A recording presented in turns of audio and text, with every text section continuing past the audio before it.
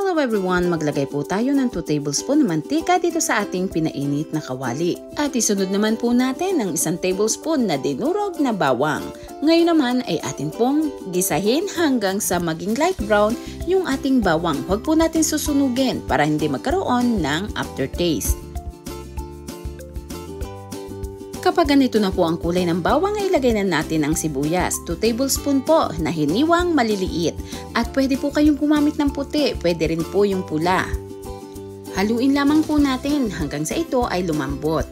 Ngayon naman ay sunod na po natin ang kamatis. Dalawang malaking kamatis po ang ginamit ko dito at syempre hiniwa ko rin ng maliliit. At ngayon naman ay atin pong haluin hanggang sa maluto ang kamatis. Kaya kung kayo po ay mahilig sa mga simpleng lutuin, mag-follow lamang po sa Udelmo's Kitchen Facebook page at syempre subscribe na rin ang ating YouTube channel. Itag nyo na rin po at i-share sa inyong mga friends at magkakaroon pa kayo ng tsansang manalo ng 300 pesos every month.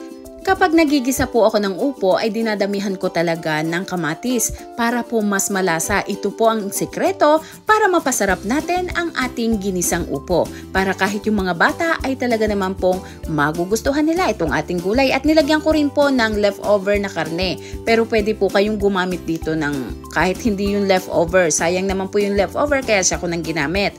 Pwede rin po kayong gumamit dito ng mga hipon na maliliit at pwede rin po ang chicken kung ano man ang gusto nyo. At ang upo po natin ay isang medium size itong aking hiniwa-hiwa dito. Hindi ko na po ipinakita kung paano ba hiwain dahil alam nyo na yun for sure. At ngayon naman, syempre, lalagyan natin ng paminta. Ang paglalagay po ng paminta ay depende sa inyong panlasa. At para po lalong malasa, patis po ang ginamit ko, hindi po asin. Haluin lamang po natin. At again, ang paglalagay ng patis ay depende sa inyong panlasa. Ito po yung mga simpleng lutuin na talaga namang gaganahan ka kumain. Basta may kapartner na prito, may kanin, at ito ang gulay mo, sigurado taob ang isang pinggan na kanin mo dito. At bago po matapos itong ating video ay magbibigay ako ng isang question para po sa ating pajikas. Abangan nyo na at baka ikaw ang mapipili para sa ating tamang sagot. Marami pong tamang sagot pero syempre kailangan pipili lamang tayo ng isa. At ngayon naman ay nilagyan ko rin ng cubes. Kung ang gagamitin nyo po ay pork, maglagay kayo ng pork cubes. Kung chicken naman ay chicken cubes. At kung hipon naman ay shrimp cubes po ang inyong gamitin. At ito po ay atin lamang tatakpan ng limang minuto. Pwede nyo rin pong i-check-check at halu-haluin paminsan-minsan.